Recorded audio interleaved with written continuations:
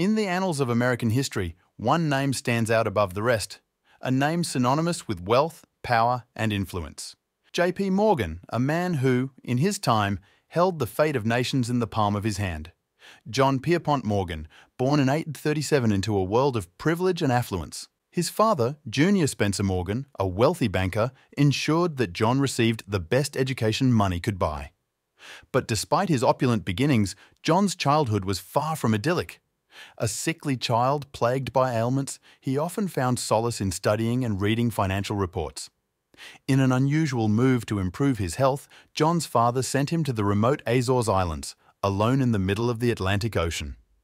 The isolation, coupled with the salty air, was believed to aid in his recovery. By the age of 19, John entered the workforce, working for his father's firm on Wall Street. Yet his risk-taking nature led to conflicts with senior members of the banking house. In 1861, at the age of 24, John struck out on his own, founding his own company. His early years were marked by financial acumen but also controversy, notably his involvement in war profiteering during the American Civil War. As the war raged on, John's influence grew. In 1871, he formed a powerful partnership with Anthony Drexel, creating Drexel Morgan & Co., later known as JP Morgan & Co. This marked the beginning of his ascent to financial dominance. John's brilliance lay in his approach to the American railroad system.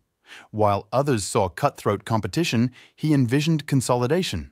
His tactic, known as Morganization, involved merging railroads, creating powerful monopolies, and reshaping the industry. By 1901, J.P. Morgan had already left an indelible mark on American industry.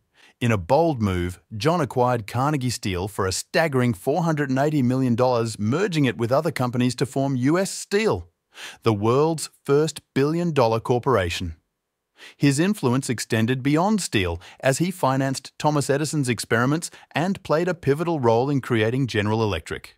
His monopolistic practices caught the attention of President Theodore Roosevelt, who took legal action against JP Morgan's Northern Securities Corporation. In times of economic crisis, JP Morgan emerged as the savior. He orchestrated plans to stabilize the US economy, showcasing his unprecedented influence